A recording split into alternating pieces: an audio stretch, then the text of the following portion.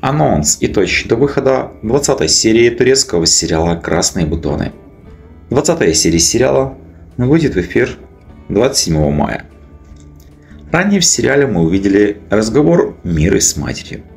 Девушка говорит, что она всегда хотела быть похожа на нее, что в детстве она мечтала стать такой же красивой и харизматичной. По щеке Миры катится слеза.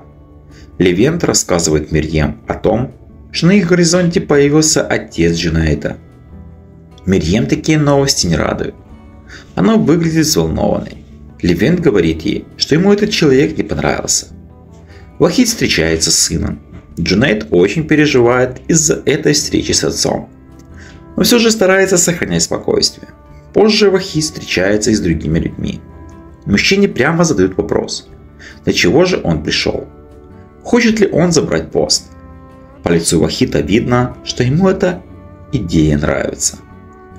20 серия сериала выйдет в эфир 27 мая. Если вам нравится сериал и ждете выхода новых серий, тогда ставьте лайки, подписывайтесь на канал, жмите на колокольчик и будете в курсе последних новостей о новых сериалах. Спасибо за подписку и лайки.